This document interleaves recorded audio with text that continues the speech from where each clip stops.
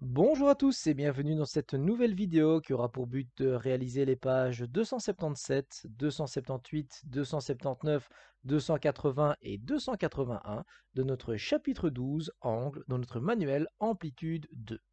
Alors aujourd'hui au programme les amis, qu'est-ce que l'on va faire? Eh bien on va terminer ce chapitre par la troisième partie qui s'intitule Angle dans les autres polygones. Alors je vous rappelle, dans ce chapitre, nous avons vu en première partie de nouveaux types d'angles, les angles opposés par le sommet, les angles alternes internes, les angles alternes externes et les angles correspondants. Dans la deuxième partie, nous avons découvert les propriétés des angles dans les triangles, à savoir que la somme des amplitudes des angles dans un triangle, ça vaut 180 degrés, qu'un triangle isocèle possède deux angles à la base de même amplitude, et qu'un triangle équilatéral possède trois angles de même amplitude, à savoir trois angles de 60 degrés. Mais qu'en est-il quand je suis dans un quadrilatère, dans un pentagone, dans un hexagone, dans tout autre polygone? Eh bien, c'est ce que l'on va découvrir dans cette dernière partie. Alors, on va commencer par réaliser la première activité.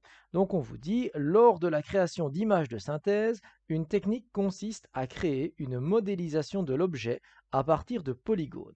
Plus le nombre de polygones et leur nombre de côtés est important, plus la qualité du rendu est importante. Voici un exemple d'un loup réalisé grâce à cette technique.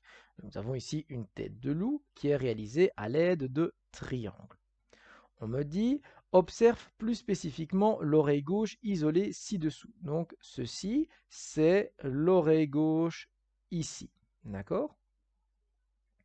Et donc on me dit, complète les phrases à l'aide des mots suivants, triangle, octogone, hexagone, 360 degrés, 180 degrés, 720 degrés.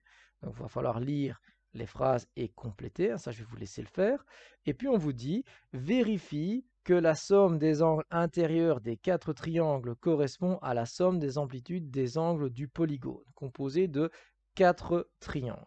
Donc on a ici en fait une forme qui est composée de 1, 2, 3, 4, 5, 6 côtés. Donc 6 côtés, vous devez savoir comment ça s'appelle. On vous demande de bien vérifier que chaque angle des triangles forme bien la totalité des angles de ce polygone à 6 côtés. Et donc, vous allez mettre des couleurs, etc. Vous allez voir, ce n'est pas très compliqué. Ensuite, on va vous demander de regarder ces trois polygones et de décomposer chacun d'eux en triangles dont les sommets sont ceux du polygone, et de compléter ensuite le tableau suivant. D'accord? Ça, je vous laisserai lire. Il faudra compléter également les flèches ici. Hein, c'est le point C, indique l'opération effectuée pour passer d'une ligne à l'autre. Et finalement, on vous demandera, dans un polygone ayant n côtés, combien y a-t-il de triangles? Quelle sera la somme des amplitudes des angles? Voilà, on va s'arrêter là pour la première partie. Donc vous allez me préparer cette première partie. Vous mettez maintenant la vidéo en pause et vous relancez la vidéo quand vous avez terminé pour qu'on puisse la corriger.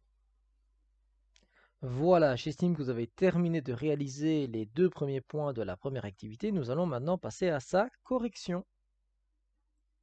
Et donc, on me dit, voilà, complétez les phrases. Donc la figure ci-dessous est un hexagone non régulier. Hein. Il y a bien six côtés, mais on voit clairement que ce n'est pas l'hexagone, le bel hexagone qu'on a l'habitude de voir. Donc c'est un hexagone non régulier composé de quatre triangles. La somme des angles intérieurs de chacune des quatre formes vaut 180 degrés. Bah oui, puisque ce sont quatre triangles, et la somme des angles de chacun des triangles, ça vaut 180 degrés. En les additionnant, on obtient donc la somme des angles intérieurs du polygone qui forme l'oreille. Cette somme vaut 720 degrés. Effectivement, ça va être la technique que l'on va utiliser pour calculer la somme des amplitudes des angles des polygones, donc des figures à plus de trois côtés, d'accord? Ce qu'on va faire, c'est qu'on va décomposer chacun de ces polygones en un ensemble de triangles. Étant donné qu'on sait que la somme des amplitudes des angles d'un triangle, c'est 180 degrés, eh bien si je sais décomposer mon polygone en quatre triangles, eh bien je ferai 4 fois 180 degrés pour avoir la somme des amplitudes euh, totales des angles de ce polygone. Donc j'aurai 720 degrés dans ce cas-ci. Si j'avais 3 triangles, j'aurais fait 3 fois 180 degrés. Si j'ai 15 triangles, je ferai 15 fois 180 degrés. Et donc, on me dit, vérifie que la somme des angles intérieurs des quatre triangles correspond à la somme des amplitudes des angles du polygone composé des quatre triangles. Et donc, on a notre polygone qui est ici, vous voyez, ces angles, c'est 1, 2, 3, 4, 5, 6. On a ces six angles. Eh bien, ces six angles vont être décomposés en plusieurs parties. L'angle 1 va être coupé en trois parties. L'angle 1, 2, 3 en vert. C'est ce qu'on vous dit ici. Donc on a 6 angles de l'hexagone, 3 angles qui forment l'angle 1 de l'hexagone, donc les 3 angles verts ici dans ces trois triangles-là différents forment l'angle 1 de l'hexagone. L'angle 2 ici est formé de un seul angle, ce sera euh, l'angle rose. L'angle 3 ici est formé de deux angles qui seront euh, l'angle 5 et l'angle 6 rouge, donc deux angles qui forment l'angle 3 de l'hexagone. L'angle 4, lui, va être formé de quatre angles, l'angle 7, l'angle 8 et l'angle 9 qui sont les angles mauve, donc trois angles qui forment l'angle 4 de l'hexagone. L'angle 10, lui, ici en bleu, eh bien, euh, ça représente l'angle 5 de l'hexagone, donc un angle qui forme l'angle 5 de l'hexagone. Et l'angle 6 de l'hexagone, ici, il est décomposé en deux angles, disons deux angles orange, l'angle 11 et l'angle 12, d'accord? Deux angles qui forment l'angle 6 de l'hexagone. Donc, au final, j'ai bien tous les angles de mes triangles qui forment la totalité des angles de l'hexagone. Et donc, tous les angles de l'hexagone ont été découpés en 12 angles, qui sont les angles intérieurs des quatre triangles qui composent l'hexagone. Donc une fois que j'ai fait ça, je peux me lancer après dans la suite des opérations qui consiste à se dire, bah tiens, si j'ai des polygones à 4 euh, côtés, ici j'ai un polygone à 5 côtés, ici j'ai un polygone à 8 côtés, comment je vais faire pour calculer la somme des amplitudes des angles dans de tels polygones? Donc un polygone a quatre côtés, eh bien c'est un quadrilatère, d'accord? Il a donc quatre côtés, et quand je le décompose en triangle, je forme deux triangles. Donc si j'ai formé deux triangles, je vais pouvoir faire deux fois 180 degrés, et je vais arriver à 360 degrés, qui va être la somme des amplitudes des angles d'un quadrilatère. Donc tous les quadrilatères, la somme de leurs amplitudes des angles, c'est 360 degrés. Attention qu'ici, c'est un quadrilatère quelconque, donc les quatre angles ne sont pas forcément les mêmes. Mais tous les quatre ensemble, ça fait 360 degrés. Si j'ai un polygone à 5 côtés, c'est donc ce qu'on appelle un pentagone. Là, je le décompose en trois triangles. Donc s'il y a trois triangles, ça va me donner 3 fois 180 degrés. Donc je vais arriver à 540 degrés. Donc tous les pentagones, la somme de leurs amplitudes des angles, c'est 540 degrés. À remarquer également qu'ici, ce n'est pas un pentagone régulier, donc je ne pourrai pas déterminer l'amplitude d'un seul angle, puisque tous les angles ici sont différents, ou du moins ils ont tous l'air différents. Si j'ai un polygone ici qui a 8 côtés, c'est donc un octogone, et eh ben, je peux le décomposer en 6 triangles. Et chacun de ces triangles bah, fait 180 degrés. Donc j'ai 6 fois 180 degrés, ce qui va me donner 1080 degrés. Donc la somme des amplitudes des angles de n'importe quel octogone, ça fera toujours 1080 degrés. Alors il est aussi à remarquer que ce n'est pas un octogone régulier, et donc je ne pourrai pas déterminer avec précision l'amplitude d'un seul de ces angles. Hein. Mais en tout cas, quand je les additionne tous, ça fait 1080 degrés. Alors pour passer du nombre de côtés au nombre de triangles, eh bien effectivement on a chaque fois fait moins 2. Donc quand il y a 4 côtés, je fais moins 2, j'arrive bien à 2 triangles. 5 côtés, je fais bien moins 2, j'arrive bien à 3 triangles. 8 côtés, quand je fais moins 2, j'arrive bien à 6 triangles. Et pour calculer la somme des amplitudes des angles de ces quadrilatères, je fais bien à chaque fois le nombre de triangles fois 180 degrés, puisque chaque triangle représente 180 degrés. D'accord? Alors, on me dit après, eh bien, euh, si tu sais que c'est un polygone qui a n côtés, donc un certain nombre de côtés, peut-on faire une formule générale pour un polygone qui a un certain nombre de côtés Eh bien oui, on va pouvoir déterminer le nombre de triangles. S'il a n côtés, il y aura toujours n-2 triangles, c'est-à-dire il y a deux triangles de moins que le nombre de côtés du polygone. Donc ceci, ça va être une formule générale. On remplacera n par le nombre de côtés qu'on va nous donner dans l'exercice. Si on vous dit que c'est 15 côtés, ben, n ça vaut 15, donc remplacer n par 15, ça fera 13 triangles. Mais alors du coup, quand on a trouvé le nombre de triangles, on pourrait déterminer la formule qui me permettrait de trouver la somme des amplitudes des angles d'un polygone à n côtés. Eh bien, cette formule, ce serait n-2 fois 180 degrés. Ici, il manque le degré, je vais rajouter en post-prod. Voilà. Et donc, n-2 fois 180 degrés, c'est la somme des amplitudes des angles d'un polygone à n côtés. Donc encore une fois, si on vous donne un polygone à 100 côtés, que vaut la somme des amplitudes de tous ces angles, eh bien vous allez tout simplement faire 100 moins 2, ça veut dire 98, 98 fois 180 degrés, et vous allez calculer la somme des amplitudes des angles de ce polygone à 100 côtés. Voilà, j'espère que ça vous paraît clair. Donc on a une première formule très importante qui est celle-ci, n-2 fois 180 degrés. Continuons maintenant avec le point 3. Alors dans le point 3, on vous dit quelle est l'amplitude d'un angle d'un polygone régulier à trois côtés. Alors on vous donne une information principale ici, c'est que c'est un polygone régulier.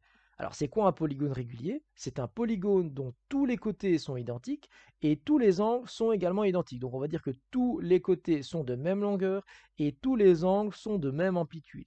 Alors à votre avis, comment pourrait-on trouver, sachant la formule qu'on vient de découvrir, la valeur d'un seul des angles d'un polygone régulier à trois côtés Ensuite, on va faire pareil pour un polygone régulier à 11 côtés. Il faudra trouver la valeur de un seul de ces angles.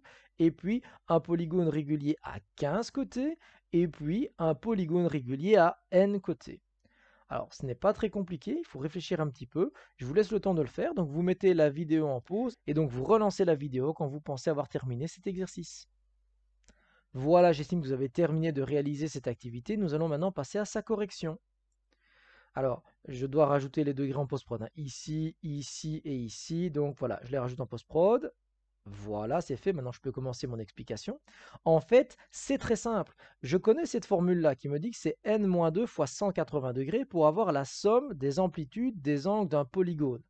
Mais quand j'ai un polygone régulier, tous ces angles sont les mêmes. Donc, je peux utiliser cette formule-ci pour calculer la somme de toutes les amplitudes de tous les angles du polygone. Et puis, je vais diviser cette somme par le nombre d'angles du polygone, étant donné que tous les angles sont les mêmes. Donc, je vais dire que n, ça vaut 3 ici. Donc, 3 moins 2, ça fait bien 1. 1 fois 180 degrés, ça me donne 180 degrés. Donc, dans un polygone à trois côtés, c'est-à-dire un triangle, la somme des amplitudes des angles intérieurs vaut 180 degrés.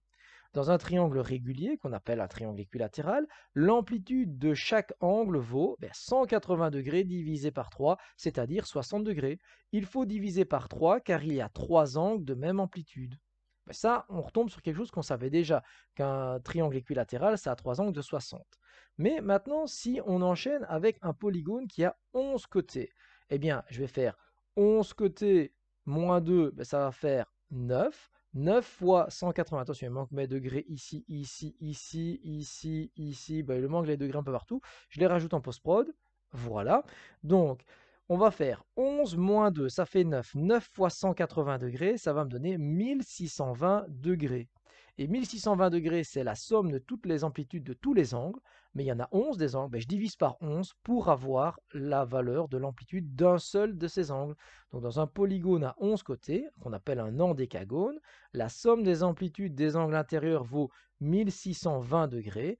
Dans un endécagone régulier, l'amplitude de chaque angle vaut 1620 degrés divisé par 11, qui fait à peu de choses près 147,273 degrés. Il faut diviser par 11 car il y a 11 angles de même amplitude. Et on va faire exactement pareil si on a un polygone de 15 côtés. On va faire 15 moins 2, ce qui va faire 13. 13 fois 180 degrés, ça va me donner 2340 degrés. Et donc on va dire que dans un polygone à 15 côtés, la somme des amplitudes des angles intérieurs vaut 2340 degrés. Dans un polygone régulier à 15 côtés, l'amplitude de chaque angle vaut 2340 degrés divisé par 15, qui fait 156 degrés. Il faut diviser par 15 car il y a 15 angles de même amplitude.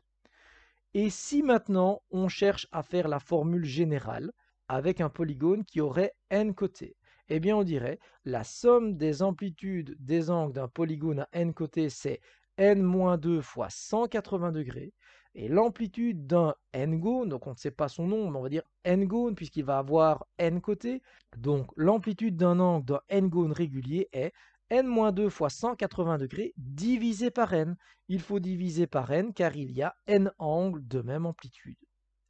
Voilà, donc on a une deuxième formule ici qui est très importante, c'est n-2 fois 180 degrés divisé par n. Donc on reprend la formule de départ et on la divise par le nombre d'angles. Attention, cette formule, elle n'est réservée que pour les polygones réguliers. Et eh bien maintenant, nous allons attaquer les exercices. Donc vous allez faire l'exercice 1, on vous donne le nombre de côtés du polygone ou la somme des amplitudes de ces angles et il faut trouver ce qui manque. Vous allez faire l'exercice 2, on vous dit, et tiens, si un polygone était partagé en triangles dont les sommets sont les sommets du polygone et qu'on compte 10 triangles, combien y a-t-il de côtés? Et vous allez faire l'exercice 3, un polygone régulier possède un angle dont l'amplitude est de 144 degrés, combien possède-t-il de côtés? L'exercice 4, on peut le barrer, ça on ne va pas le réaliser. Donc on va se contenter de faire l'exercice 1, l'exercice 2 et l'exercice 3, qui seront les trois derniers exercices de ce chapitre. Vous mettez maintenant la vidéo en pause et vous la relancez quand vous avez terminé de faire ces exercices pour qu'on puisse les corriger. Voilà, j'estime que vous avez terminé de réaliser les exercices. Nous allons maintenant passer à leur correction.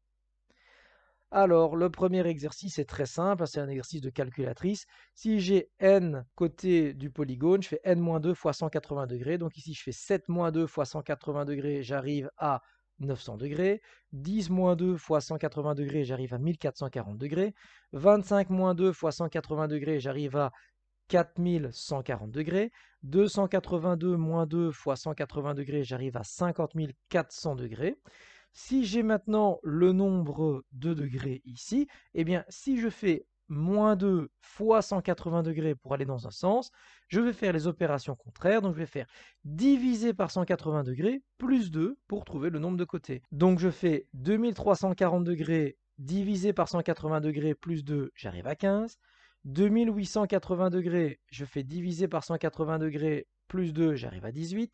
3960 degrés, je fais diviser par 180 degrés plus 2, j'arrive à 24. 5220 degrés divisé par 180 degrés plus 2, j'arrive à 31. Voilà, exercice pas très compliqué. Enchaînons maintenant les deux derniers exercices. Donc, on me dit, le polygone a été partagé en nombre de triangles et il y a 10 triangles, et eh bien en sachant qu'il y a toujours 2 triangles de moins que le nombre de côtés, bah, je fais 10 plus 2 et je trouve directement le nombre de côtés, c'est 12 côtés. Passons maintenant à l'exercice 3, qui me semble être l'exercice le plus intéressant de la série. On me dit un polygone régulier possède un angle dont l'amplitude est de 244 degrés. Combien possède-t-il de côtés? Eh bien, pour trouver la réponse de cet exercice, nous allons devoir résoudre une équation. Et pour plus de facilité, nous n'allons pas introduire dans cette équation les degrés. Donc je vais volontairement pas mettre les degrés à 180 degrés et 144 degrés parce que dans cet exercice-ci, ça risque de vous embrouiller plus qu'autre chose. Alors qu'est-ce qu'on va faire? Eh bien dans un premier temps, on va noter la formule qui me permet de trouver la valeur d'un angle dans un polygone régulier à n côtés, c'est-à-dire n-2 fois 180 sur n. Ensuite, je sais que cet angle-là que je cherche, il vaut 144 degrés. Donc je vais marquer égal à 144. Ici maintenant, ce que je vais faire, c'est que je vais aller piocher dans le chapitre des proportions pour aller récupérer la règle du produit croisé pour pouvoir m'aider à résoudre cette équation. On va visualiser le 144 comme étant une fraction. C'est comme si j'avais 144 sur 1. Et je vais réaliser le produit croisé, c'est-à-dire que je vais faire n-2 fois 180 fois 1 est égal à n fois 144. Ce qui va me donner n-2 fois 180 est égal à 144n. Ici, je vais distribuer le 180 sur chacune des parties de la parenthèse. Donc, je vais avoir 180 fois n moins 2 fois 180. Autrement dit, n fois 180 moins 360 est égal à 144n. Ensuite, comme je veux résoudre l'équation, les n, c'est comme mes x.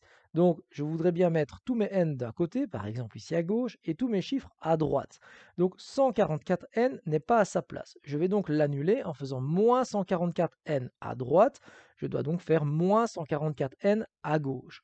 Et le moins 360, lui non plus, n'est pas à sa place. Donc, je vais l'annuler en faisant plus 360 à gauche et également plus 360 à droite.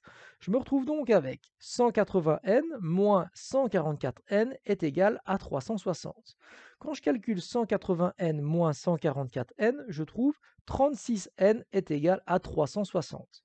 Mais 36n, c'est 36 fois n. Moi, je veux juste une fois n. Donc je vais diviser par 36 ici et je vais diviser par 36 de l'autre côté. Et 360 divisé par 36, eh bien ça fait 10. Donc finalement, le polygone possède 10 côtés. Et eh bien voilà les amis, nous venons de terminer ce chapitre 12. C'est encore une bonne chose de faite. Il ne me reste plus qu'à vous souhaiter une bonne fin de journée et à vous donner rendez-vous à très bientôt pour une prochaine vidéo.